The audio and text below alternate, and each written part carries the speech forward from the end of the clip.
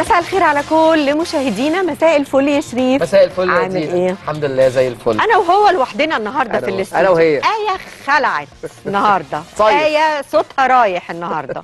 وأكيد بتسمعنا وبتدلعي يا آية أهو أنا بقول؟ لك بقول لك إيه اللي ما يجيش الاستوديو يبقى متدلع طب هسألك سؤال عمرها حصلت لك يعني في مليون مرة. آه، كنت بتعملي إيه؟ يعني مثلا يبقى عندك. هوا يبقى عندك بتاع كنت. بتدلع برضه ما لازم أنا أقرصها لا عمر على الهوا أو عمر كان عندك مثلا تسجيل رمضان أو حاجة وكنت بطلع وأنا لا عيانة وحصل حاجة صوتك مثلا فجأة راح بتاع. كتير باجوري يشهد اهو معانا على الدرامز باجوري يشهد بقى اللي حصل؟ وصوتي يروح واتكلم أيوه مشاهدينا الاعزاء أهلا بيكم حلقه جديده عادي tricks جدا في اي tricks في اي حاجة ممكن تعمليها مثلا توطي صوتك. يا سلام توطي صوتك هما مش هيحسوا انك موطي صوتك عشان المايكات بتاعتنا بتتعلق آه. آه، بس انت هتبقى ال tone بتاعك هيديك نفس شوية.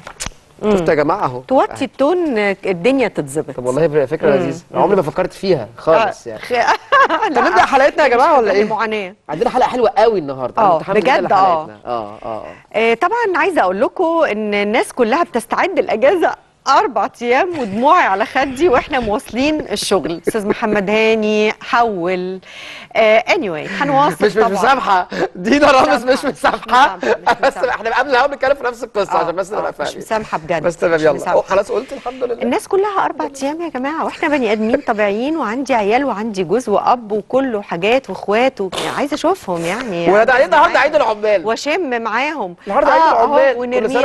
وندى وكله على الدرامز وبيقولوا برضو عايزين يشموا. يلا يلا، يلا, مش لله. مشكلة عشان خاطركم نعمل كل سنة. وعمال مصر طيبين. آمين يا رب. بس. طبعا إحنا مش هنتكلم عن مفاجآتنا في شم النسيم علشان ما تتحرقش. آه، هنلعب ألعاب وهيبقى معانا حاجات حلوة لكن هنتكلم عن اللي معانا النهارده على الأقل. هم ثلاث فقرات مهمين. أنا بالنسبة لي مهمين جدا جدا ومهتمة قوي بالمناظرة اللي هنتكلم فيها النهارده عن فكرة قبول الأسرة والمجتمع لفكرة استقلال البنات وإن هم يبقوا مستقلين في المعيشة والسكن. أنا طول عمري أقول عن نفسي أنا باد مام أنا أم وحشة. ما أحبش موضوع الاستقلالية مش عشان شاكة في بناتي ولا علشان لأ يا جماعة المجتمع هيقول إيه؟ أنا آسفة جدا في اللفظ اللي هقوله ولكن طز في المجتمع. أنا بحب ولادي حاجتي تبقى معايا. يعني عايزة بناتي معايا أنا مخلفاهم علشان أستمتع بصحبتهم وأستمتع ب... بكل حاجة في الحياة معاهم. ربنا يا؟ رب يحفظهم لي يا رب. وهم؟ هم المفروض هم كمان يستمتعوا معايا. ما أنا كنت بستمتع بأمي الله يرحمها وبستمتع لغاية دلوقتي بأبويا. ربنا يديله طول العمر. لما لما في حصل جواز. بقى مع بعض بعض أجازات